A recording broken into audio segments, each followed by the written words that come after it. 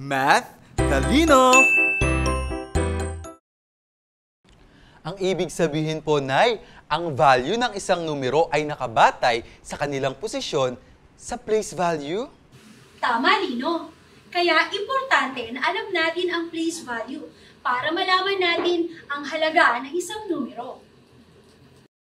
Paano naman po natin babasahin at isusulat ang halaga ng naipon ko, Nay? Madali lang yan, anak. Lalo na ngayong alam mo na ang place value ng mga number. Para basahin ang isang numero, kailangan natin malaman ang mga place values ng mga digit nito.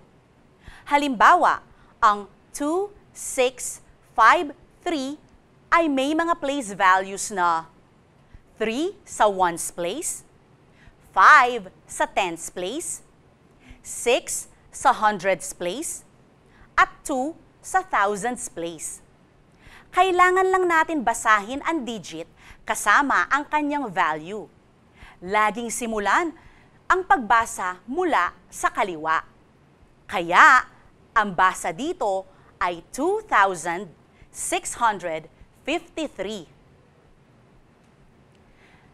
Sa pagsusulat naman ng mga numero, mayroong dalawang paraan. Una, ang symbol or standard form.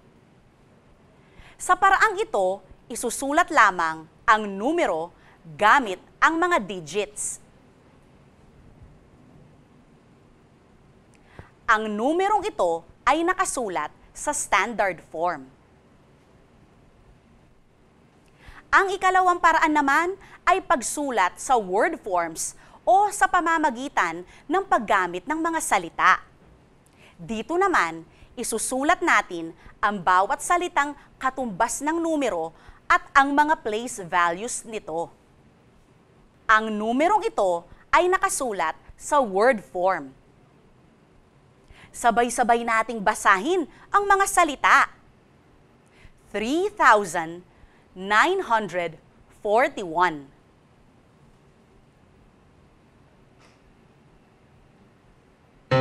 Mathalino time! Mga bata, kayo naman ang sumubok magbasa at magsulat ng mga numbers sa screen. Ihanda ulit ang inyong papel at lapis sa pagsagot. Basahin ito. Ang galing! Ngayon, isulat naman sa word form ang numero.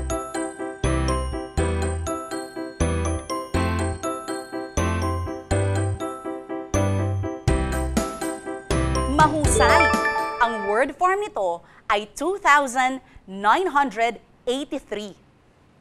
Ito naman, ano naman kaya ang basa nito? Magaling!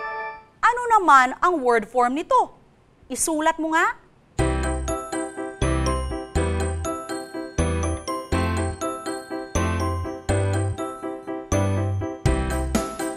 Tama! Ang sagot ay 3,156. Ano kaya ang basa nito? Ang galing! Isulat mo naman ito sa word form.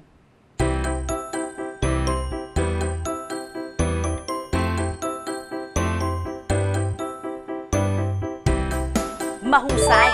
Ang sagot ay 2,100. Ipagpatuloy natin ang mga susunod na numero. Basahin mo nga ito. Tama. Ano naman ang word form nito?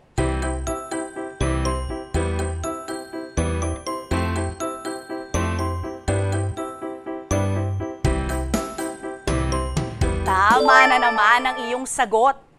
Ang word form ay 8,521.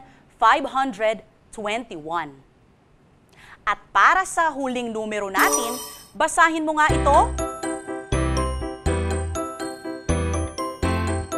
Magaling!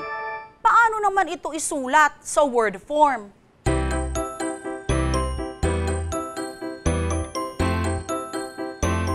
Mahusay! 7,400 95. Ang galing mo palang magbasa at magsulat ng mga numero. Palakpakan ninyo ang inyong mga sarili. Isa pang pagsasanay ang inyong sagutin upang mahasa ang kaalaman ninyo sa pagbasa at pagsulat ng number. Para sa ika-anim at ikapitong bilang, basahin ang mga numerong ito.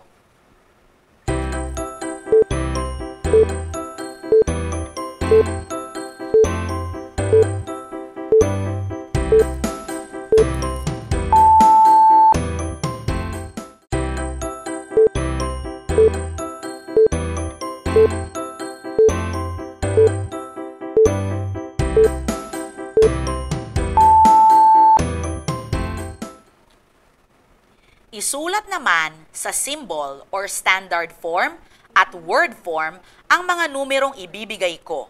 Handa na ba kayo mga bata? Sa ikawalong bilang, ang numerong 9,725. 9,725.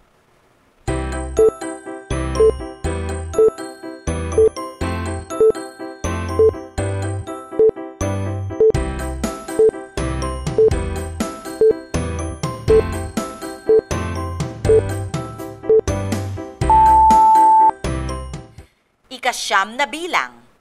6,855. 6,855.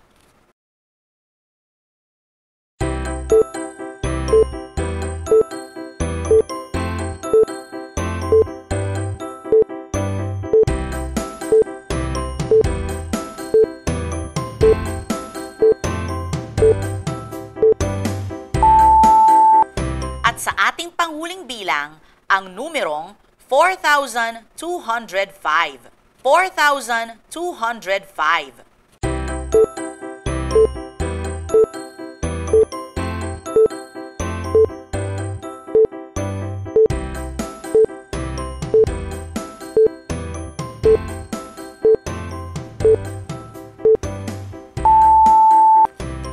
Heto na ang mga sagot sa pagsasanay.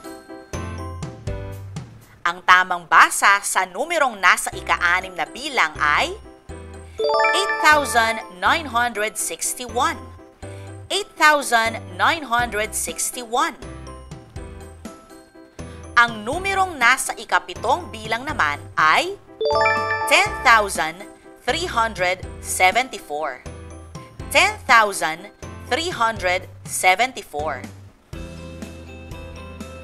Ang symbol o standard form ng numerong 9,725 ay kapag isinulat ito sa word form ay 9,725. Ang symbol or standard form ng numerong 6,855 ay